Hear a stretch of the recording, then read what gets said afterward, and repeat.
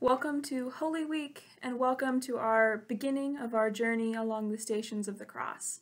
I am Addie Tapp, the Director of Young Adult Ministries here at Christ Church, and I'll be starting us off on this journey through the stations today. So, every day this week, which is Holy Week, we'll be posting a couple of stations um, read by different youth and families uh, from around the church.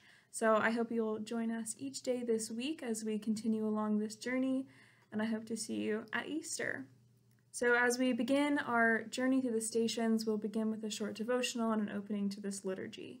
So, as we begin, I invite you to pause, take a centering deep breath, and walk along this journey. So, pause with me, and we'll begin in prayer. In the name of the Father, and of the Son, and of the Holy Spirit, Amen. Lord, have mercy. Christ, have mercy. Lord, have mercy. Our Father, who art in heaven, hallowed be thy name. Thy kingdom come, thy will be done, on earth as it is in heaven.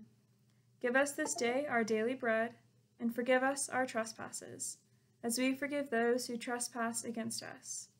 And lead us not into temptation, but deliver us from evil. We will glory in the cross of our Lord Jesus Christ in whom is our salvation, our life, and resurrection. Let us pray.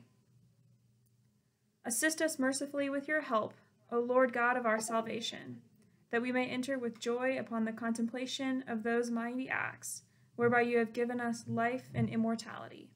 Through Jesus Christ our Lord. Amen.